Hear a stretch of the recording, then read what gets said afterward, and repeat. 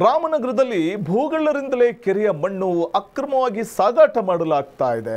ರಾಮನಗರದಲ್ಲಿ ಭೂಗಳ್ಳರ ಹಾವಳಿ ಹೆಚ್ಚಾಗಿದ್ದು ಕೆರೆಯ ಮಣ್ಣನ್ನ ಅಕ್ರಮವಾಗಿ ಸಾಗಾಟ ಮಾಡಲಾಗ್ತಾ ಇದೆ. ರಾಜಾರೋಷವಾಗಿ ಮಣ್ಣು ಸಾಗಾಟ ಮಾಡಲಾಗ್ತಾ ಇದೆ.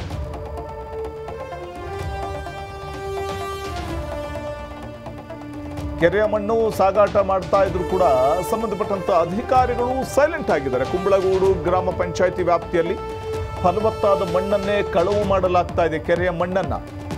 ರಾಮನಗರದಲ್ಲಿ ಭೂಗಳರಿಂದಲೇ ಕೆರೆಯ ಮಣ್ಣು ಅಕ್ರಮವಾಗಿ ಸಾಗಾಟ ಆಗ್ತಾ ಇದ್ದು, ಅಧಿಕಾರಿಗಳ ಗಮನಕ್ಕೆ ಬಂದರೂ ಕೂಡ ಸೈಲೆಂಟ್ ಆಗಿದ್ದಾರೆ ಅಧಿಕಾರಿಗಳು. ಮತ್ತೊಂದು ಕಡೆ ರಾಜಾರೋಷವಾಗಿ ಡೋಂಟ್ ಕೇರ್ ಅನ್ನುವಂತ ವರ್ತಿಸ್ತಾ ಇದ್ದಾರೆ. ಕೆರೆ ಮಣ್ಣು ಸಾಗಾಟ ಮಾಡ್ತಾ ಇರುವಂಥ ಖದೀಬರು. ಕುಂಬಳಗೂಡು ಗ್ರಾಮ ಪಂಚಾಯಿತಿ ವ್ಯಾಪ್ತಿಯಲ್ಲಿ ಮಣ್ಣು ಕಳುವು ಪ್ರಕ್ರಿಯೆ ನಡೀತಾ ಇದೆ. ಮಣ್ಣು ಕಳುವು ಮಾಡುವಂತಹ ಒಂದು ಕೆಲಸ ನಡೀತಾ ಇದೆ. ಕೆರೆ ಮಣ್ಣನ್ನ ರಾಮನಗರದಲ್ಲಿ ಭೂಗಳ್ಳರೇ ಕೆರೆ ಮಣ್ಣನ್ನ ಅಕ್ರಮವಾಗಿ ಸಾಗಾಟ ಮಾಡ್ತಿದ್ದಾರೆ. ರಾಜಾರೋಷವಾಗಿ ಮಣ್ಣು ಸಾಗಾಟ ಮಾಡ್ತಾ ಇದ್ರು ಕೂಡ ಡೋಂಟ್ ಕೇರ್ ಅನ್ನುವಂತ ವರ್ತಿಸ್ತಾ ಇರುವಂಥದ್ದು.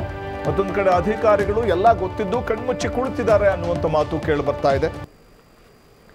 ಕೆರೆಯ ಪಾತ್ರದಲ್ಲಿರುವಂತಹ ಮಣ್ಣನ್ನು ಅಕ್ರಮವಾಗಿ ಈ ರೀತಿ ಸಾಗಾಟ ಮಾಡಿದ್ರೆ, ನಿಜಕ್ಕೂ ಇಲ್ಲಿ ಫಲವತ್ತಾದ ಮಣ್ಣನ್ನು ಈ ರೀತಿ ಕೊಳ್ಳೆ ಹೊಡೆದ್ರೆ, ಲೂಟಿ ಹೊಡೆದ್ರೆ, ಈ ಸಂದರ್ಭದಲ್ಲಿ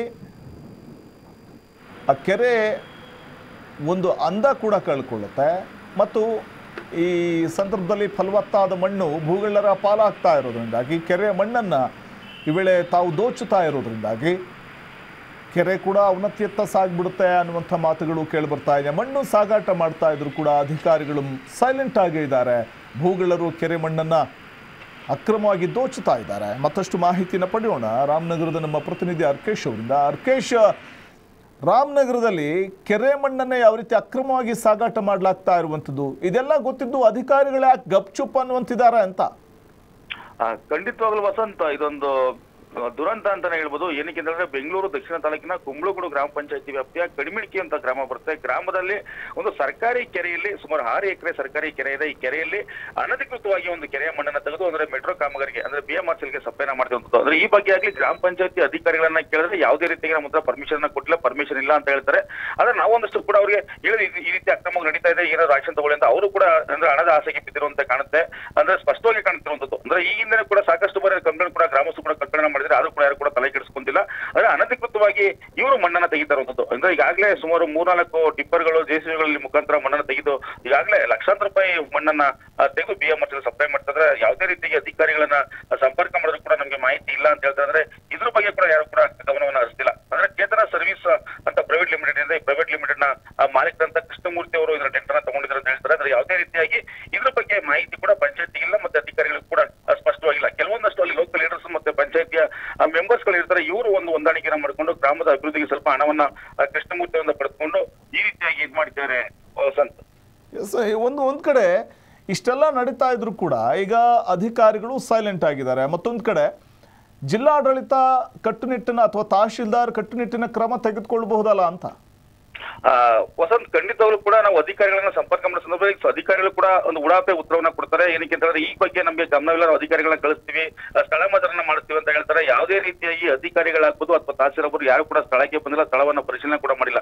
ಈಗಾಗಲೇ ಲಕ್ಷಾಂತರ ರೂಪಾಯಿ ಅಂತ ಮೌಲ್ಯದ ಮಣ್ಣನ್ನ ಕೂಡ ಸಾಗಿಸಿರುವಂತದ್ದು ಅಂದ್ರೆ ಖುದ್ದಾಗಿ ತಹಸೀಲ್ ಕೂಡ ಕರೆ ಮಾಡಿದೀವಿ, ಅವರು ಕೂಡ ಅಧಿಕಾರಿಗಳನ್ನ ಕಳಿಸ್ತೀವಿ ಅಂತ ಹೇಳ್ತಾರೆ, ಕಳಿಸಲ್ಲ. ಅಂದ್ರೆ ಅಧಿಕಾರಿಗಳು ಬರುವಂತ ಸಂದರ್ಭದಲ್ಲಿ ಅಧಿಕಾರಿಗಳ ಮಾಹಿತಿಯನ್ನು ಕೊಟ್ಟಂತ ಸಂದರ್ಭದಲ್ಲಿ ಅಧಿಕಾರಿಗಳೇ ಈ ಭೂಗಳರಿಗೆ ಒಂದು ಮಾಹಿತಿಯನ್ನು ಕೊಡ್ತಾರೆ. ಈ ರೀತಿಯಾಗಿ ಮಾಧ್ಯಮದ ಮಾಧ್ಯಮದವರು ನಿಮ್ಗೆ ಒಂದು, ನಮಗೆ ಕರೆಯನ್ನ ಮಾಡಿದ್ದಾರೆ. ಅಲ್ಲಿ ಯಾವುದೇ ಪರ್ಮಿಷನ್ ಬರ್ತಾ ನಾವು ಸ್ಪಾಟ್ ಸ್ಪಾಟ್ಗೆ ಅಂತ ಅವರು ಕರೆಯನ್ನ ಮಾಡಿ ಭೂಗಳರಿಗೆ ಇನ್ಫಾರ್ಮೇಶನ್ ಮಾಡುವಂತ ಸಂದರ್ಭದಲ್ಲಿ ಏನು ಅಲ್ಲೇ ವಾಹನ ಮಾಲೀಕರು ಇರ್ಬೋದು ಅಥವಾ ಟಿಪ್ಪರ್ ಏನು ಚಲಾಯಿಸ್ತಿರ್ತಾರೆ ಅವರು ಕೂಡ ಅಲ್ಲಿಂದ ಕಾಲ್ ಕೀಳ್ತಾರೆ ನಂತರ ಅಧಿಕಾರಿಗಳು ಬಂದ ಸಂದರ್ಭದಲ್ಲಿ ಯಾರು ಕೂಡ ಇಲ್ಲಿಲ್ಲ ಅಂತ ಅಧಿಕಾರಿಗಳು ಮಾಧ್ಯಮಗಳಿಗೆ ಒಂದು ಮರೆಮಚ್ಚಂತ ಕೆಲಸವನ್ನು ಕೂಡ ಮಾಡ್ತಾರೆ. ಸಾಕಷ್ಟು ಬಾರಿ ಪ್ರಜಾ ಟಿವಿ ಕೂಡ ಅಧಿಕಾರಿಗಳಿಗೆ ಕರೆಯನ್ನು ಕೂಡ ಮಾಡಿತ್ತು. ಆದ್ರೆ ಅಧಿಕಾರಿಗಳು ಯಾವುದೇ ರೀತಿಯ ಸ್ಪಂದನೆ ಸ್ಪಂದನೆ ಕೂಡ ಮಾಡ್ತಿಲ್ಲ. ಎಲ್ಲ ಒಂದು ಕಡೆ ಹಣದ ವ್ಯಾಮೋಹಕ್ಕೆ ಬಿದ್ದು ಈ ಅಧಿಕಾರಿಗಳು ಈ ರೀತಿಯಾಗಿ ಕೆಲಸವನ್ನ ಮಾಡ್ತಾರೆ ಅಂತ ಕೂಡ ಸ್ಪಷ್ಟವಾಗಿ ಕಾಣುತ್ತೆ ಅಂದ್ರೆ ಇಲ್ಲಿ ಈಗಾಗಲೇ ಸುಮಾರು ಆರು ಎಕರೆ ಇರುವಂತಹ ಆ, ಏನು ಆರು ಎಕರೆ ವಿಸ್ತೀರ್ಣ ಇರುವ ಕೆರೆಯ ಮಣ್ಣನ್ನು ಈಗಾಗಲೇ ಲಕ್ಷಾಂತರ ರೂಪಾಯಿ ಮ- ಮೌಲ್ಯದ ಆ, ಮಣ್ಣನ್ನು ಕೂಡ ತೆಗೆದು ಅನಧಿಕೃತವಾಗಿ ಬಿ ಎಂ ಗೆ ಸಪ್ಲೈನ ಕೂಡ ಆ, ಮಾಡ್ತಾ ಆರ್ ಕೆ ಧನ್ಯವಾದ ಅರ್ಕೇಶ್ ತಮ್ಮಲ್ಲ ಮಾಹಿತಿಗಾಗಿ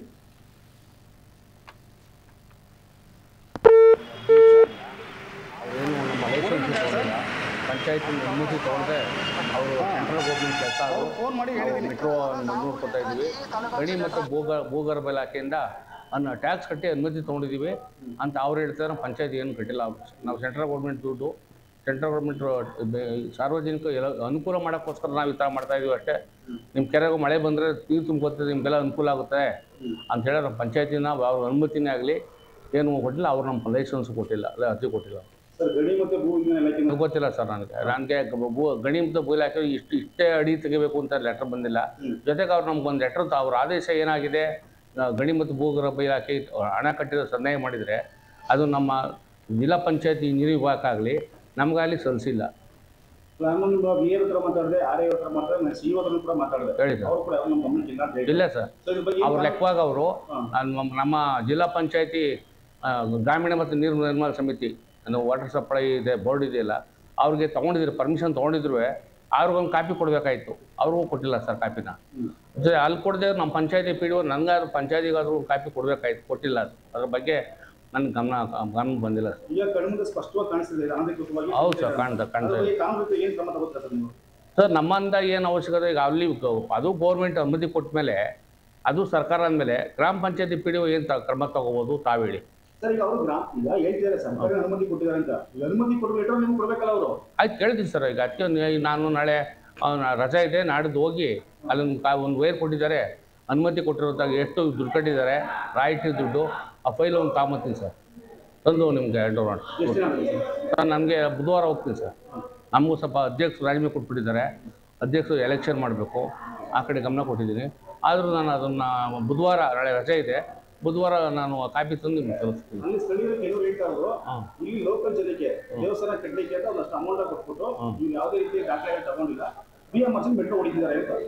ಅಲ್ಲ ಅದ್ರ ಬಗ್ಗೆ ಗೊತ್ತಿಲ್ಲ ಸರ್ ನನಗೆ.